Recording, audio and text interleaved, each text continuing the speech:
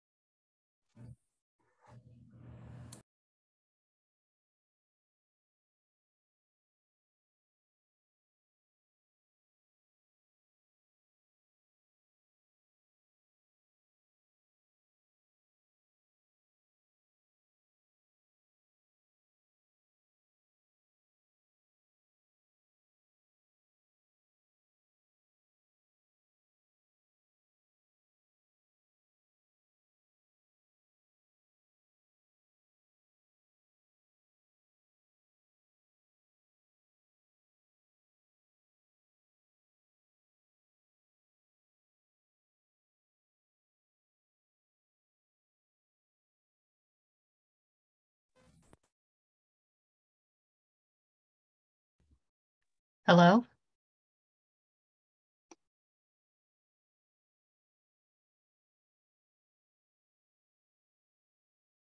Hello. Oh. Hi, good afternoon. Good afternoon. How are you? Good, how are you? I'm good, thank you.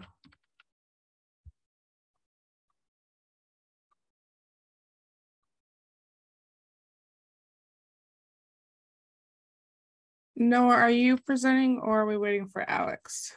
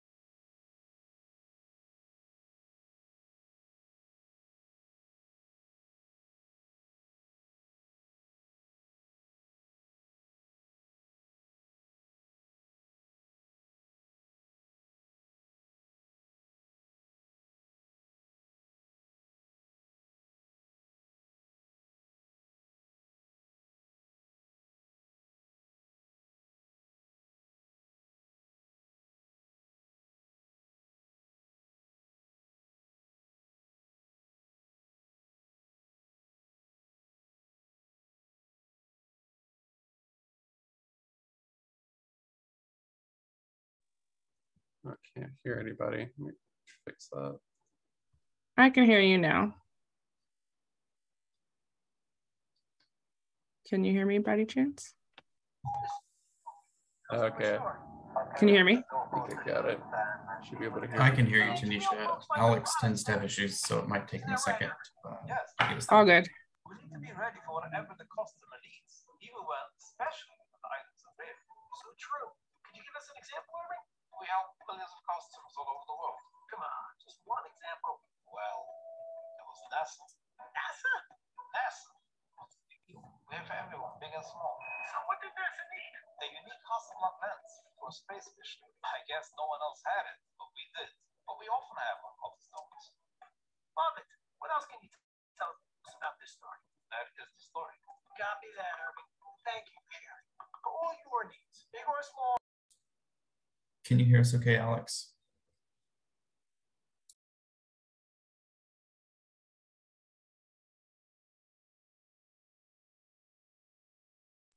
I was about to start playing Guess the car- the TV show. LOL.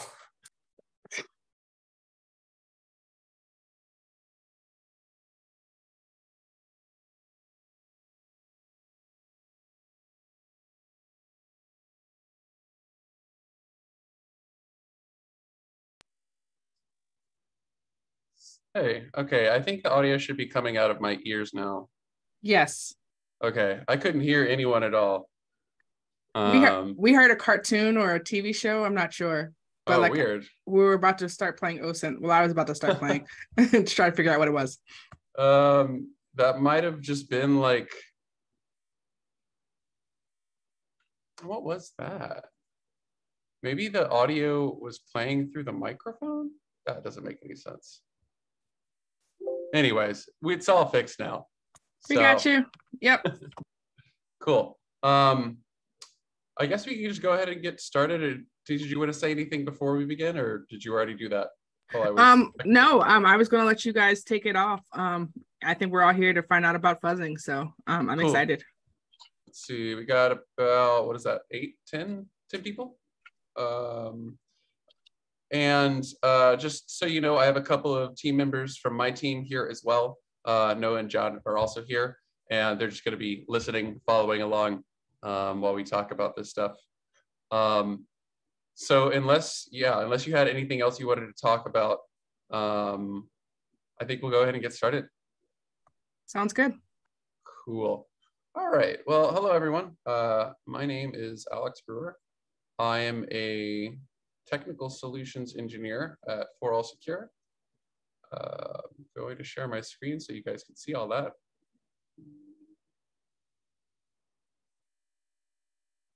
This is what I want to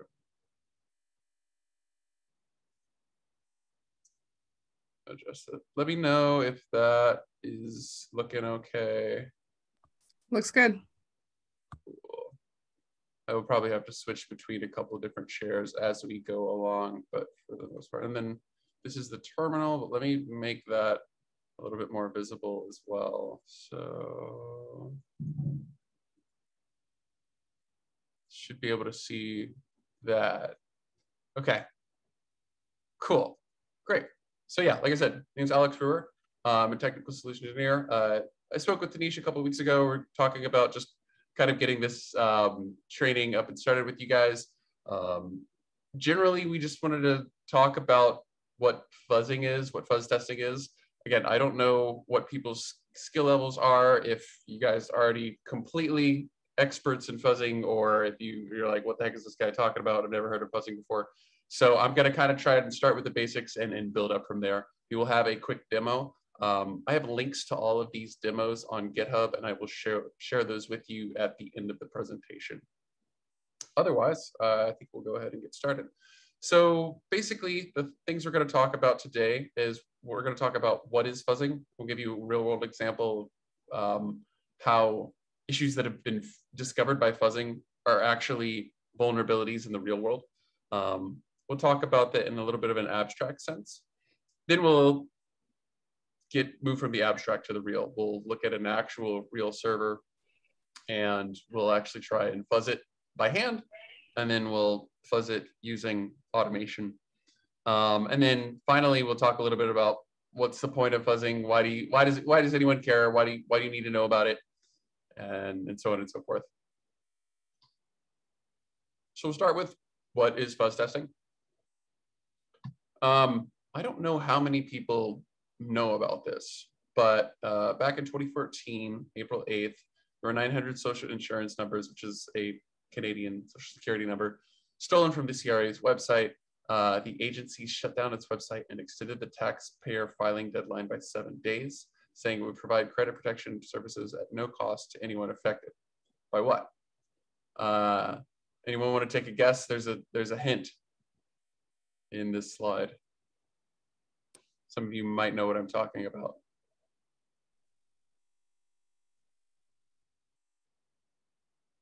Gonna guess a data breach? It is a data breach, but it has, uh, for whatever reason, people love to name these things. That every security issue, every like big thing that comes out has a has a funny name. So yes, you're right. It is a data breach, but uh, it has a funny name. You might have heard of it. You might not have heard of it. If not, it's okay. Uh, this is referring to an incident known as Heartbleed. Um, yeah, it sounds sounds very menacing. Sounds like an evil supervillain came up with it, right? Um, this is just a vulnerability that was introduced in OpenSSL it wasn't introduced in 2014. I think it was introduced a couple of years earlier, but it was only discovered in 2014. Uh, this vulnerability leaked sensitive information to uh, attackers, basically, who provided unexpected requests to the servers. So you might be wondering, okay, cool, how does it work? Well, if, if anyone's familiar with XKCD, this is a snippet of a comic that they put out around the same time uh, that the vulnerability was disclosed. And uh, I, I love it, XKCD. Uh, it's a great it's a great comic. If you ever just want to check out a little bit nerdy comic books, then XKCD is the place to go. So in 2011, so I think three years ago, uh, or three years from 2014, the Heartbeat extension was um, implemented in a protocol known as TLS. TLS is the little lock thing that you see when you put a, website into your browser. It's the SSL secure layer thing. Just make sure that your um, data is encrypted in transit, right? So the heartbeat extension was something that was like every time every time you would connect to a website, you would have to negotiate the connection. You would say, "Hey, I'm connecting." The website would be like, "All right, ACK, acknowledge." There you go, and then you would acknowledge the acknowledgement, and then you would start sending data, right? You had to do that every time. So the heartbeat extension was saying, "Hey, even if there's no data transfer or anything, let's not terminate the connection. Let's keep it going I'm going to send a heartbeat message to the server every, I don't know, five seconds or 10 seconds or one second or 500 milliseconds. Basically, just making sure that the connection stays in place. Um, the heartbeat allowed for a client to send these heartbeat messages that would ensure that the connection was valid. And the heartbeat message could basically request an arbitrary payload of an arbitrary size. So you hear, see in the example at the top left, um, our user says, server, are you still there? That's what the heartbeat message says. If so, reply potato. The server is of course still there. The connection is still in place. Uh, the server says user meg wants these six letters potato, and it will respond with potato in that second panel you'll see there. Same thing, heartbeat connection is saying, hey server, are you still there? If so, reply bird, four letters. The server is still there. It understands that Meg wants the four letters BIRD, and so it will return those four letters to Meg BIRD. Um, the trick here is that initializing the payload involves allocating a memory buffer with a size specified by the length field in the request, meaning that the user gets to out, out, um, initialize the buffer, not the server which is a huge problem, right? Because if you request a string hat, length 500 characters, and the server responds with HAT, and then the remaining 497 characters just fills with whatever's in adjacent memory at the time. It could be things like server logs, administrator passwords, user transactions, sensitive data, anything like that. So this is really interesting, right? Um, and three years passed between the time the heartbeat was implemented and heartbleed was discovered. Really cool supervillain sounding name. So you might be wondering, why wasn't heartbleed discovered earlier? So the most efficient technique which could have prevented heartbleed was a robust series of negative te testing. And indeed, heartbleed was found by exactly that technique. Testing, uh, negative testing refers to testing invalid inputs. Uh, you might be familiar with positive testing, which is I enter my login, I should expect my login page to pop up. Negative testing is what if I do literally anything other than that? What happens? I'm testing for the non-result or then the non-behavior. Um, this is exactly the problem that fuzz testing helps us solve. So let's get to fuzz testing. Here's the definition that we, we like to espouse. It's not the one you would find if you Googled it, but this is the one that we, we like to use, which is the process of sampling and testing a program input space to elicit new program behaviors. Basically, negative testing. We're trying to send malformed or unexpected incorrect inputs to an application with the objective of triggering bad behaviors, you know, crashes, infinite loops, uh, memory leaks, anything that is a sign of an unknown software vulnerability, we're trying to do it. And it's important to understand that this is something that hackers do, right? This is exactly what a nefarious entity is going to do.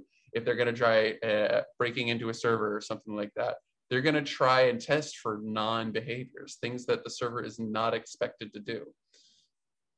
So fuzz testing is really asking this question, if the hackers are already going to try and break your system, why not try and break it yourself first? More importantly, can you enumerate the possible ways in which a user might try to break or not even try to break, right? Because sometimes I'm just, um, there's there's this this problem of, of user errors, which is just like users have no idea how to use an application and so they just don't they don't know what to do and so they start using an application incorrectly it's also a form of fuzz testing you're getting non-behaviors so there's a lot of different ways someone can misuse a service right? Um, these are hard problems and it's hard to enumerate that. So let's take a look at a simple example.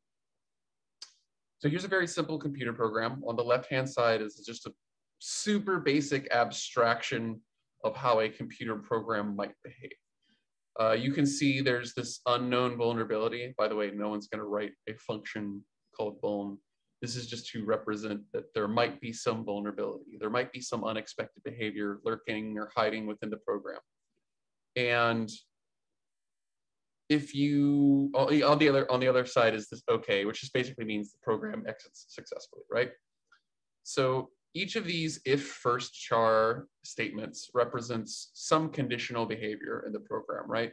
There's all these different trees, there's all these different behaviors that a program can take, right? So an input, it checks a certain set of behaviors, and if a certain set of conditions are met, then we know that we can find some vulnerability, at least for this particular program, right? So then if you look on the right-hand side, you'll see a set of inputs. Um, both the input mom and dad are considered redundant. Uh, if I put MO in and it reads input, the first char is not B, it's gonna go down and to the left and it's gonna exit successfully, right? Because M is not B, right? Well, D is also not B. So we're basically using two different tests, but we're getting literally the exact same behavior in the program. It's not super interesting to us. One of them is interesting to us. At least one of those paths is interesting, but taking the path twice, maybe not that interesting. However, BOB is interesting because it takes a different path. It, it takes the right-hand side of, of the first conditional statement and then goes to the left. BAR is interesting because it takes the right-hand side for the first two conditional statements and then goes to the left. And then of course, BAD, we uncover a vulnerability. Um, we are trying to find not only every good behavior in a code base, but we're also trying to craft inputs that correspond to unknown, undefined behaviors, vulnerabilities, heartbleeds, things like that. I, I don't know if I mentioned this in the beginning, but please, you know, this is a kind of a small group here. So if you have any questions or you want me to clarify anything, don't feel, you know, have no inhibitions about asking me to stop or, or, or go over something again. So in computer science, a lot of times we represent programs as ordered trees, but for the sake of this example, we're going to represent it like a maze. So traversing paths of a tree could be seen as traversing paths in a maze where some inputs are correct behavior, some inputs go nowhere at all, and some inputs go bad behavior. So this input is basically a series of directions to follow, right? Down, right, down, right. And the result is um, the program exits successfully. Here's another um, example where the input might be different, but the program execution pretty much the same.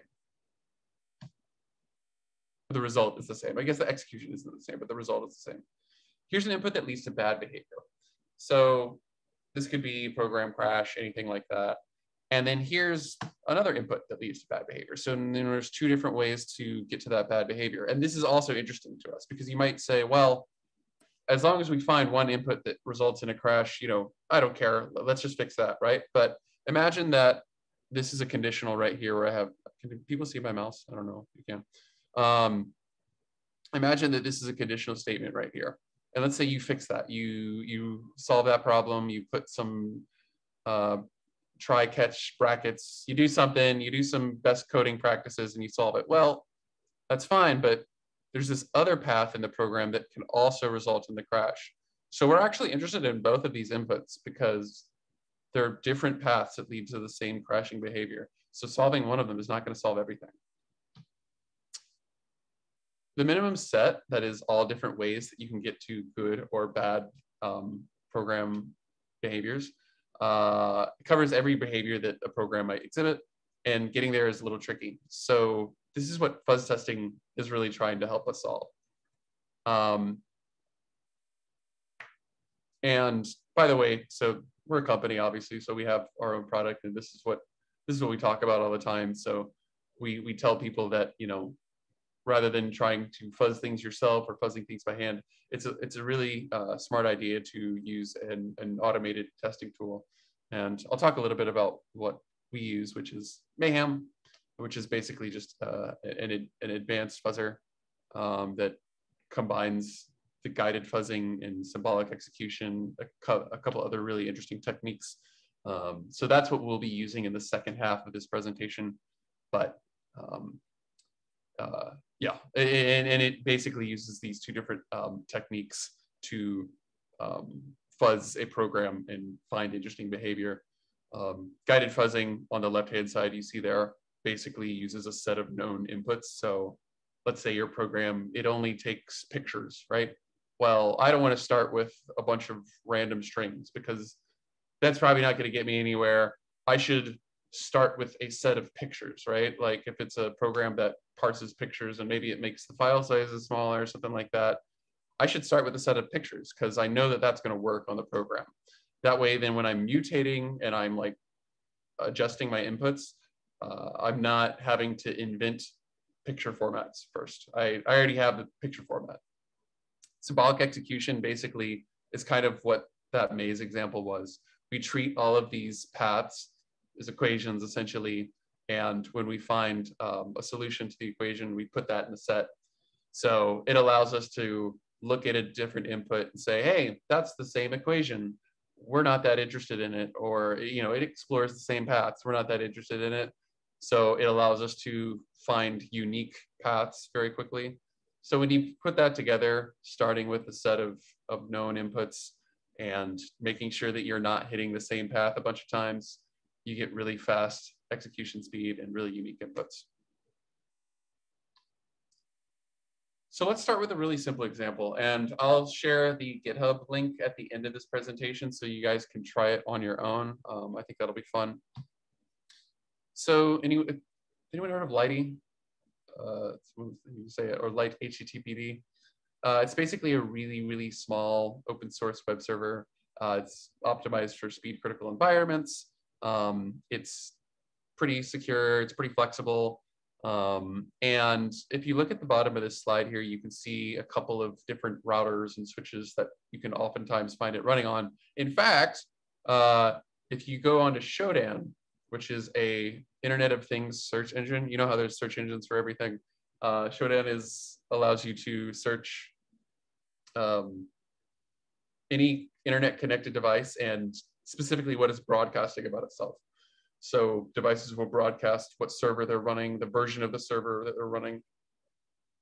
If you search for Lighty, you'll find 4 million, uh, five, 600,000 results of devices that are broadcasting that they're running this server if you look for a particular version of Lighty, you'll see that there's a lot less. There's about 400 um, devices that advertise that they're using this version of Lighty. Uh, this is interesting. Um, I guess it's a spoiler alert because we're going to be using this version of this server for fuzzing, and there is a bug in it. We're going to find a vulnerability in it.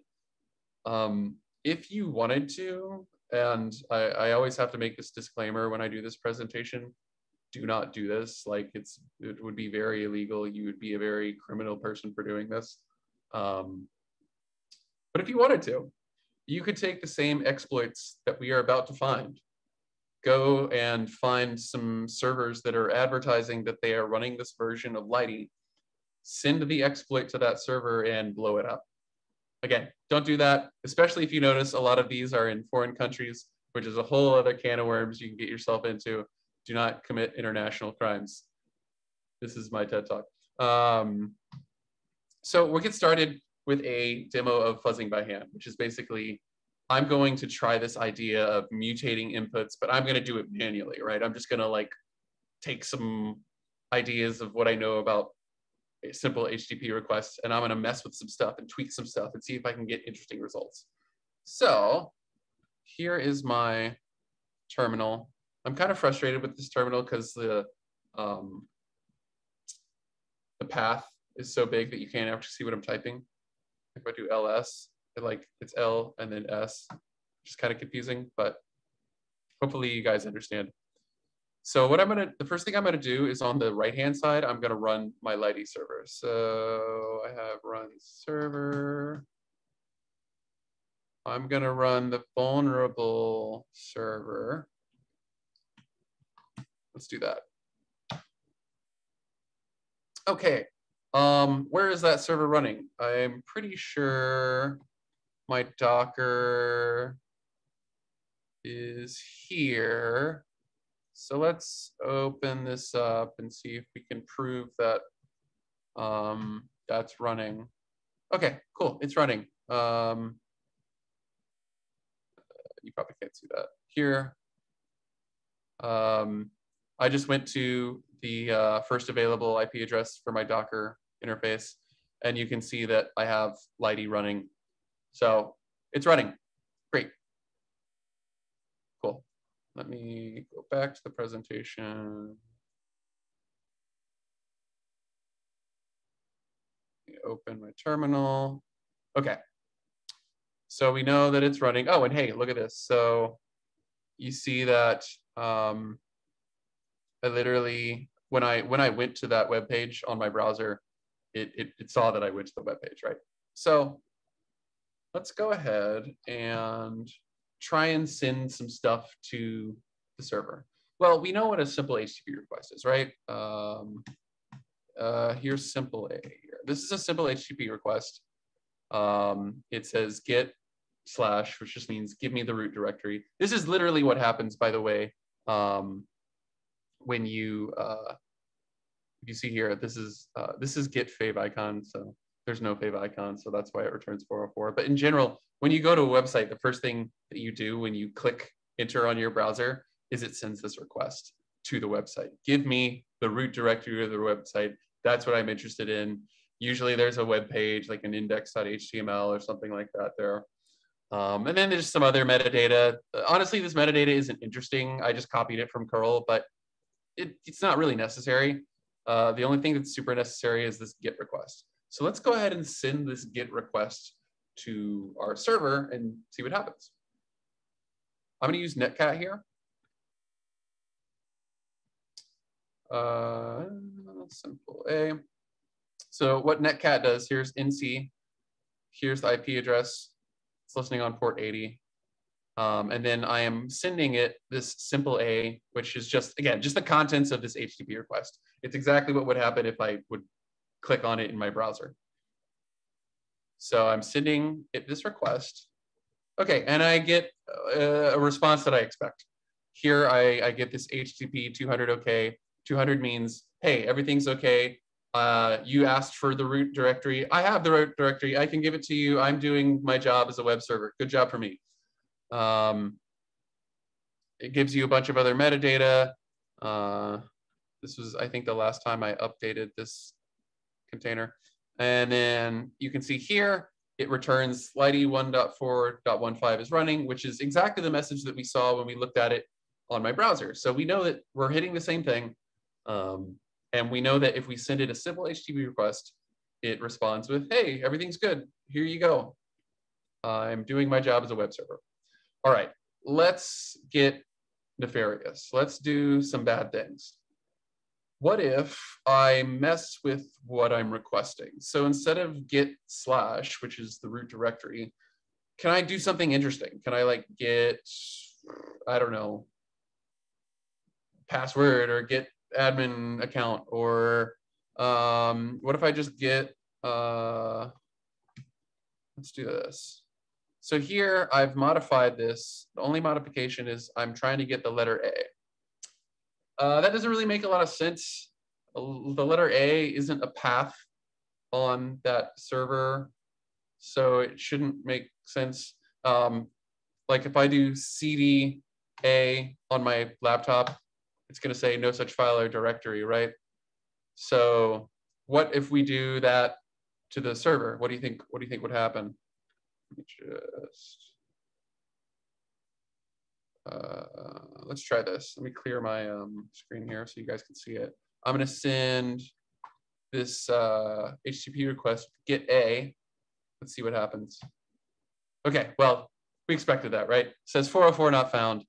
That's because A, he's like, A doesn't make sense. I don't know what A is. I can't, no such file or directory. I don't know what that is. And you can see here on the right-hand side, the server responded to our get A request with a 404 because it has no idea what we're talking about. I don't know what A, uh, A is. All right, let's do some other tricky things. What if instead of get, we try an entirely different request? You know, HTTP understands a few different verbs. It, it understands get, it understands post, it understands put, delete, things like that. So let's do something that it doesn't understand. In fact, what if we replaced the E in get with the number zero? And we tried to get this repeating list of C's here. So here's GOT. This is not Game of Thrones. This is uh, G, the number zero, T, which is not an, a word in English or any other language that I'm familiar with. Um, so let's see how the server responds to that particular test case. Okay, well, again, pretty much expected, right? It says 501 not implemented. It's never heard of the verb G0T. So it doesn't even know what to start doing. I've not implemented this command. I don't really understand what that means. Uh, I looked at my clock when we started this. It was 1220 for me on the East Coast. It's 1230 now. So in about 10 minutes, we've enumerated three possible um, inputs that we can send to the server. Um, when you're fuzzing or you're running uh, negative testing, oftentimes it's going to take thousands of inputs before, even hundreds of thousands of inputs before you find something interesting or unique that crashes a server.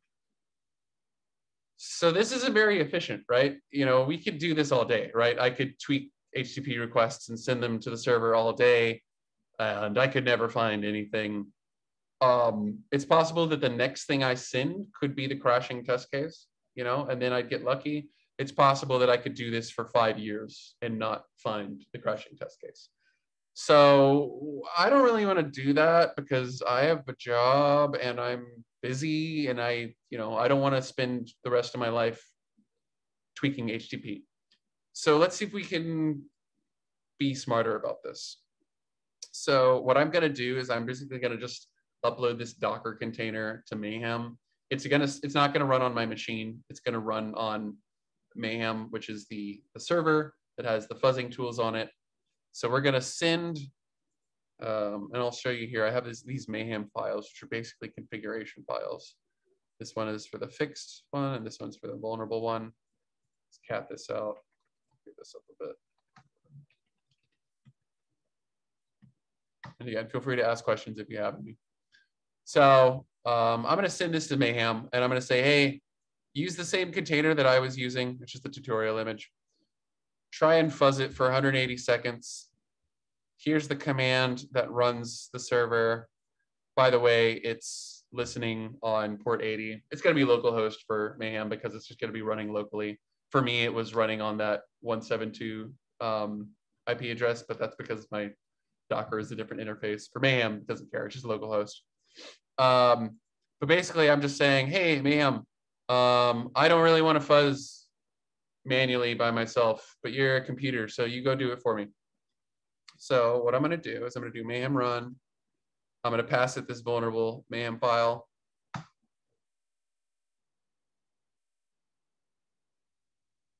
Cool. And it gives me a link to the run. So let me actually switch my share here. It should be full screen here. Uh, you should see this. Let's go ahead and click on this. Uh, okay. Try to click on it again because I don't think it actually brought me there. There we go. Cool. Here we are. Okay, great. Um, so here we are. Uh, uh, it took about 26 seconds to find a crash. We'll talk about that in a second. But basically what's happening here is Mayhem is running uh, about, what is this, 200, 230, two, I would say 2,400 tests per second, which is way faster than me. I did three tests per 10 minutes. So uh, it's a lot better. And what it's doing is it's um, testing the program, it's seeing how it responds, and it's sending inputs to the program to see if we can cause any crashes. Now, how does it know that there's a crash? Well, if the server just completely stops responding and, and we detect that the actual uh, process has exited, it's, it's raised a signal, um, then we say, hey, that's, that's a problem. Um, at the top here, there's some, there's some fun stuff that we do to like look at the binary itself to see if there's any cool things that are exploitable and hey, you should fix those. Uh, but what's really important is this uh, panel here, uh, which says analysis. So on the top, you can see number of defects found, number of crashing test cases, runtime errors. Um, defects and crashing test cases can be different numbers because sometimes two different crashing test cases can result in the same defect. Remember the maze example where I showed you two different paths can result in the same issue? Um, that's interesting to us. So we're going to keep more crashing test cases, even if they result in the same defect, because we want to solve every problem, right? At the bottom left here, you see test run per second. It's pretty self-explanatory. It's running way faster than I am. Um, here's our corpus size. This just refers to the number of unique inputs that we've generated so far. And then edges covered is just the edges covered in the program, like um, conditional edges and things like that. And you'll see here that this graph is time and test cases processed. So we've, our, we've almost processed 30 of our 45 test cases here. And you'll see that, again, at about 26 seconds, we found our first crash. Um, these red dots are, are the crashes. And the, the rising line is, okay, we've processed this many test cases in this amount of time. So in about, yeah, two, I think I set this about three minutes. And we've run um, if you hover over on this little question mark, you'll see that we've run about little under 500,000 test cases in three minutes, which is great. It's, it's way faster than me. And then here, you can see the actual issues that we found. So here's an out of bounds write. Here's a free of memory. Here's an improper input validation. Let's look at that. Um, here you can see the stack trace from the issue. If I actually click on it, I can see um, the backtrace, blah, blah, blah, a bunch of other interesting information, the defect itself.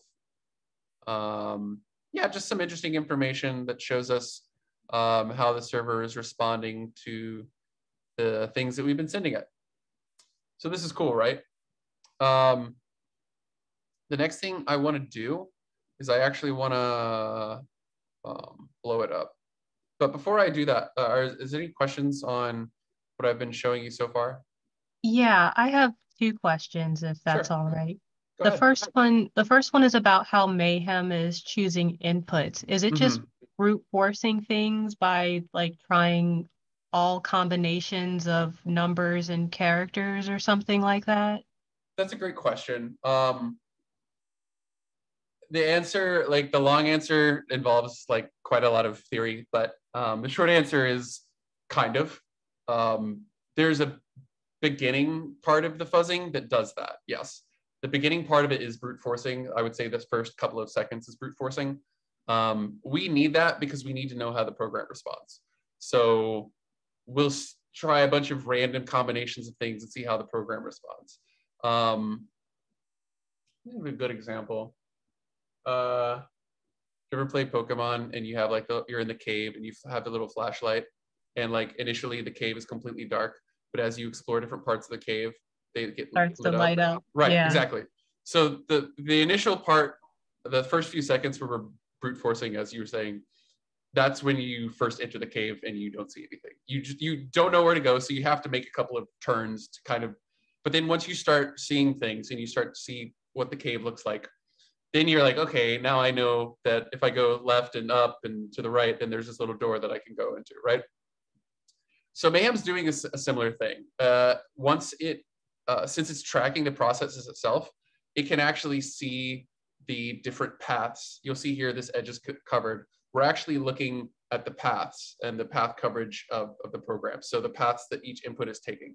So after we send a few inputs to the program, we're able to get a lot smarter about what we're sending and we don't really have to brute force anymore. We can, and that's why you see very quickly we're able to find issues is because, you know, 90% of inputs aren't even going to get anywhere for this. This program is accepting HTTP requests. So the quick brown fox jumped over the lazy dog isn't going to get anywhere in the program. Um, so it's not going to light anything up. So we can quickly eliminate things like that. Uh, but when we send something that looks like an HTTP request, suddenly we realize, oh, okay, this is um, lighting up a lot more paths in the program and we're finding a lot more um, behaviors um, being exercised. So let's keep doing that. Um, yeah, so that's kind of how that works. Okay, that makes sense. My sex, my second question, I guess, is more theoretical, but we'll mm-hmm. see. Uh, how does mayhem define a crash? Because the, the way I think about it is if a server crashes, it's not usable. So it would have to stop doing like executing test cases. But it looks like in this case, it's that's not what's happening. It's more like it's finding critical failures and and and keeping track of those, but not destroying the server, like just completely destroying the server. That's an interesting question. So um, a little bit of explanation on on how Mayhem works. Um, you notice that we ran our Lighty server in a Docker container. So the cool thing about a Docker container is I can destroy my server a thousand times and start it up again. Um, and what we do is kind of considered persistent or in-memory fuzzing, meaning that we keep the process running until it crashes. If it crashes, we start it up again. So oh, okay. yeah, so um, we are continually fuzzing the program. We can start it a thousand times if we wanted to.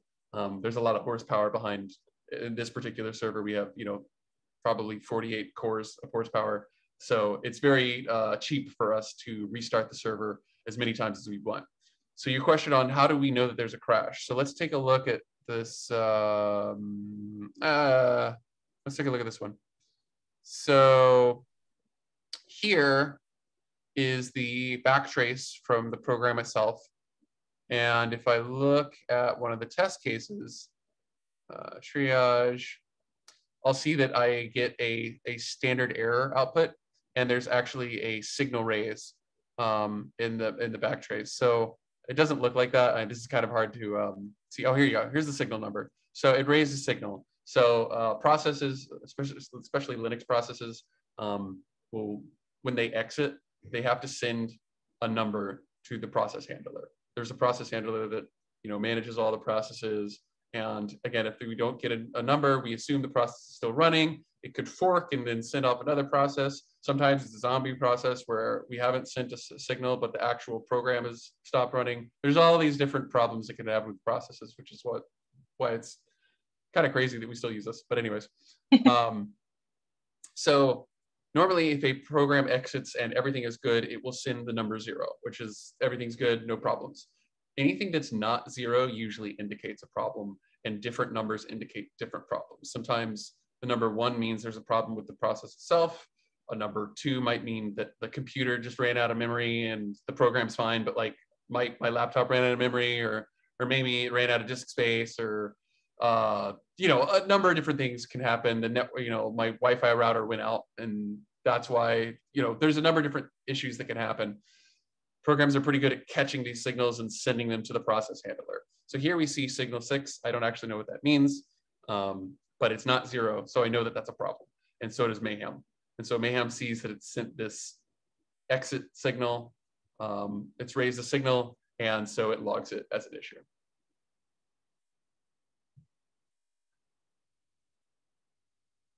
Does that make sense? Yeah, that that makes sense too. So it's more like the this the server is actually crashing, like it's coming down. It's just that Docker is restarting the process, Right. and then Mayhem tries to break it again. Yep, exactly. Yeah. And it's possible that this happens like thousands of times in a minute. I mean, you saw the number of test cases executed. We can we can restart.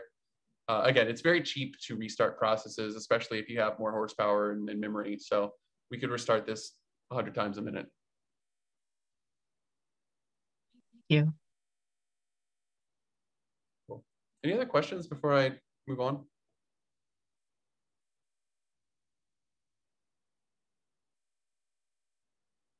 Okay, if not, I will switch my share to a different thing.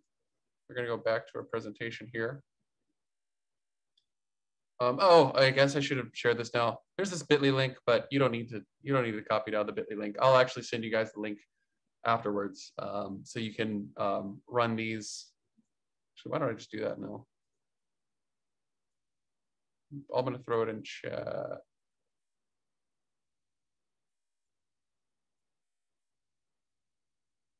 There is the um, module you can download and test things out yourself. You could also sign up to Mayhem yourself uh, I will talk about that at the end of this presentation, but uh, I think it got like 15 minutes, so I don't want to I don't want to take keep you guys too too much longer.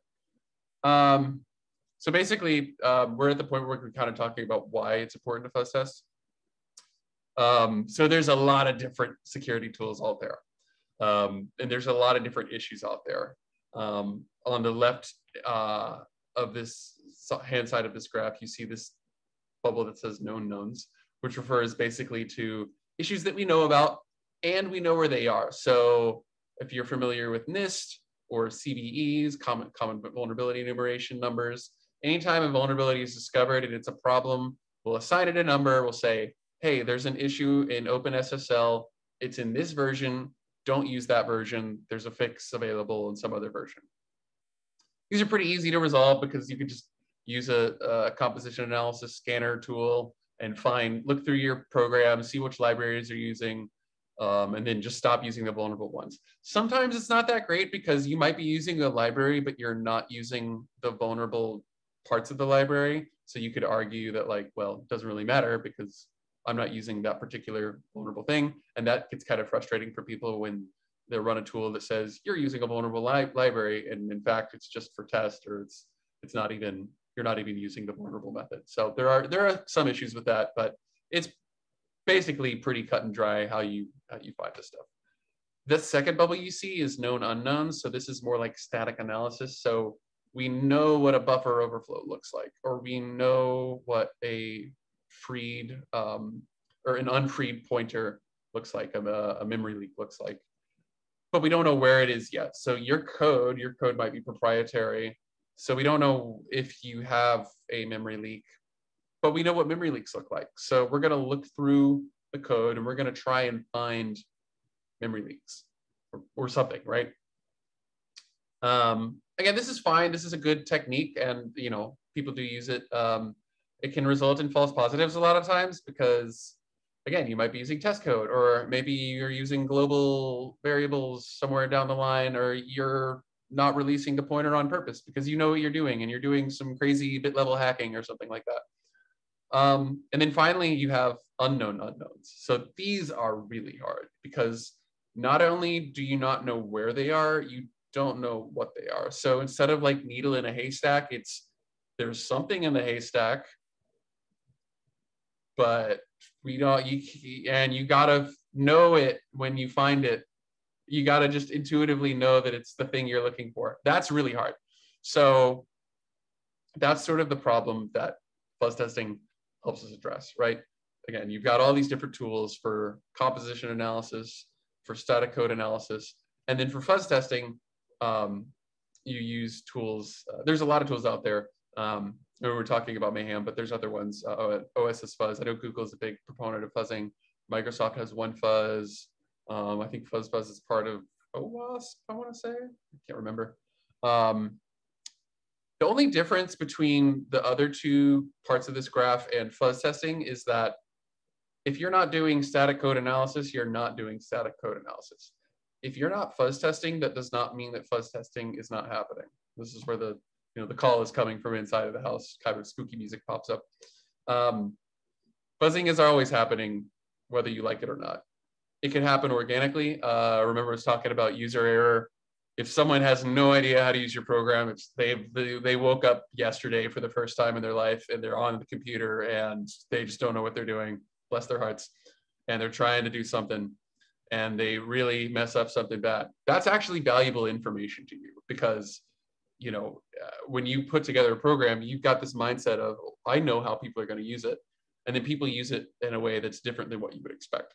So this is valuable information, and it means that your program is being fuzz tested. Of course, it can happen maliciously. There can be a group of people who fire the low orbit ion cannon at your um, website and try and crash it. But the best way, best, sorry, the best way to do this is proactively.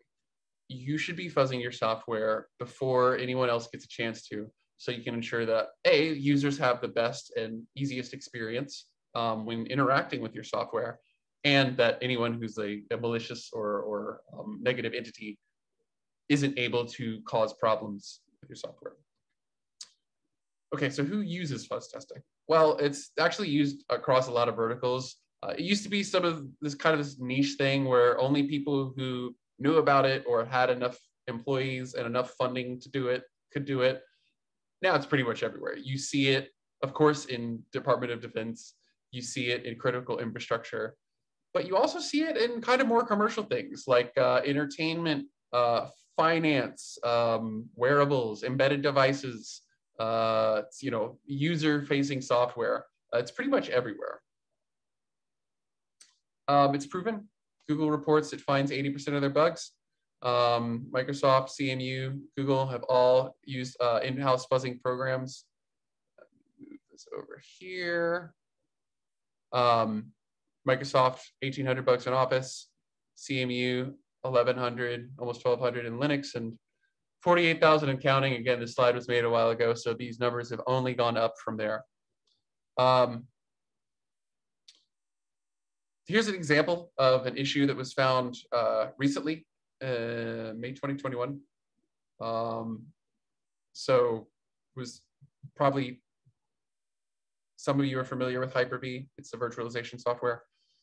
Um, this was a vulnerability that was found in Hyper-V uh, that basically triggered a denial, denial of service from an Azure VM, which could crash, you know, a lot of critical infrastructure. Um, this could be also used for remote code ex uh, execution, um, any sorts of kind of like scary things that you can imagine uh, what happens. So this is not too not too long ago. This is actually a, a very relevant recent sort of thing. Um, you might be wondering also like what got us into this sort of thing. So I'm gonna move my screen here back. So uh, Mayhem All Secure actually participated in DARPA's um, Cyber Grand Challenge back in 2014. Um, uh, where I think 12 contestants, and they were trying to figure out, hey, there's hackers out there. Can we do hacking auto autonomously? And this is what uh, Mayhem actually won this contest and it proved uh, that yes, you can do that using a unique approach to fuzz testing.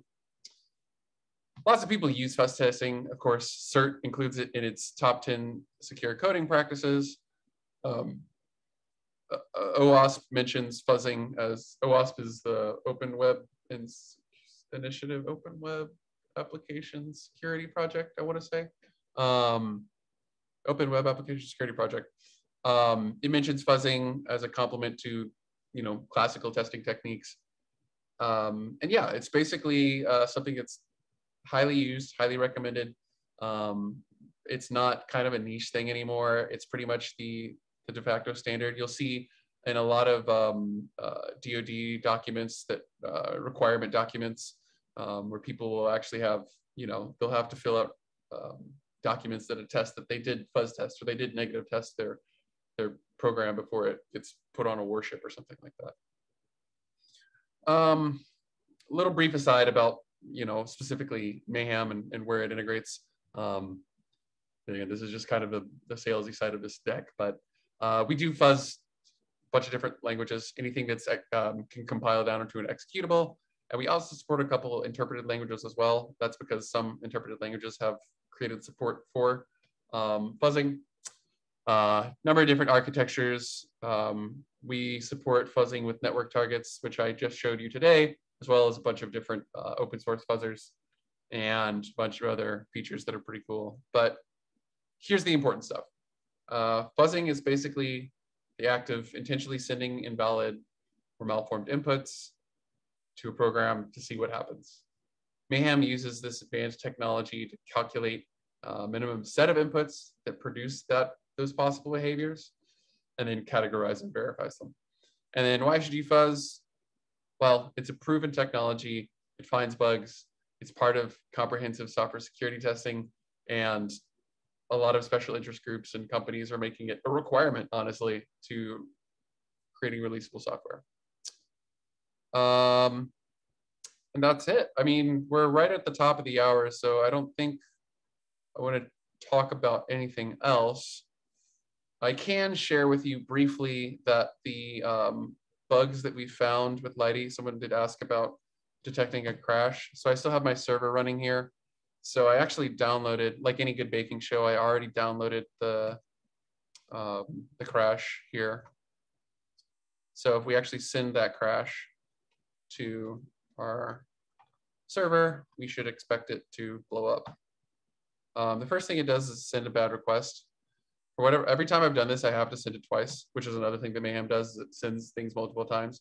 Let's send this a second time, and we'll see that the server is no longer running over here. And if we look at our exit code, that's not good. It's definitely not zero. So we're able to blow up the server.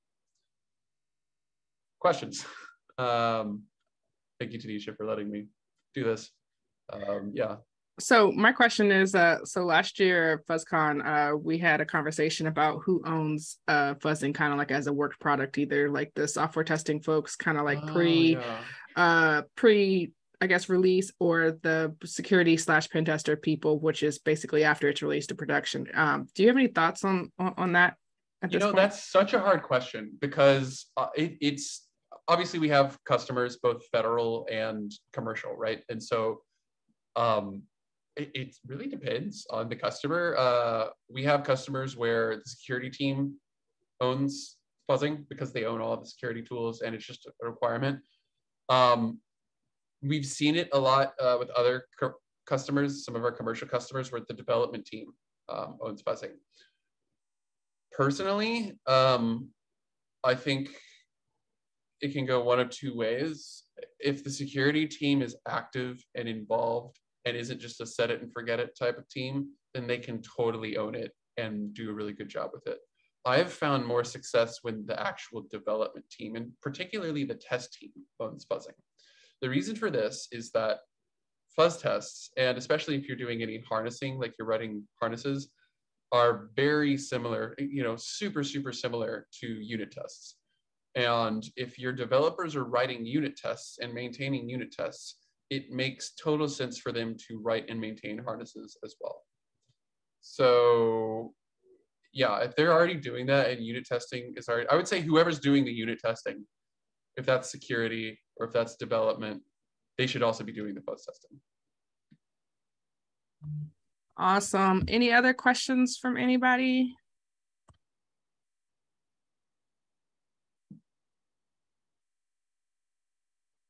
If not, um, I want to thank you guys for coming out and hanging out with us today. Um, I was about to ask, you know, where your uh, your ats are. Um, so this is how you can um, get in touch with um, Alex and his team. Um, and uh, I thank you guys for for for helping us to to explore what fuzzing is. So hopefully, folks were able to take a lot from this. So I appreciate your time. Absolutely. Hey, no problem. And uh, yeah, I literally have my email there. So feel free to just like spam my inbox and just ask questions or just chat. It's fine. I, I don't really have any problem with that. I don't really have any spam filters on my inbox, which I should probably set up at some point, but I haven't yet. So feel free to feel free to just reach out. Awesome. All right. Well, thank you. Um, everybody enjoy the rest of your day. Thanks, everyone. Thanks. This Bye. was great.